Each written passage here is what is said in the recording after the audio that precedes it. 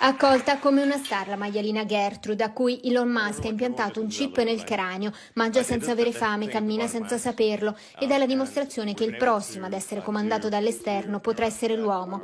È un progresso in medicina, ci dice il neuroscienziato Rafael Giuste, è un pericolo se viene usato per scopi commerciali.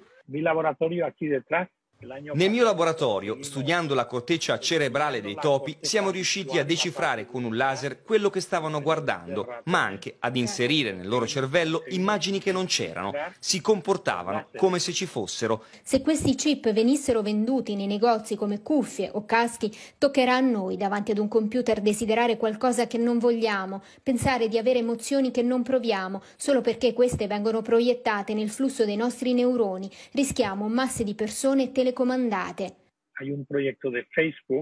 C'è un progetto di Facebook in cui si vuole eliminare la scrittura in modo che basti solo pensare ad una parola perché appaia. Questo mi preoccupa molto perché quando si sta decifrando la parola si decifra il contenuto della mente.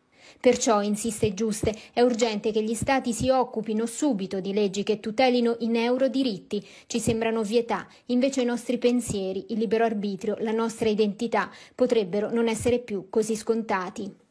Quando il telefono ce lo avrai nel cervello, non penserai più che le informazioni arrivano dall'esterno. Quello che ti entrerà non sarà più tuo, ma sarai convinto che lo sia.